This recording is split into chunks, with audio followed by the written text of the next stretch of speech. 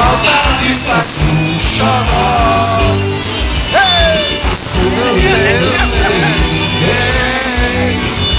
Eu levo a vida assim, mas só.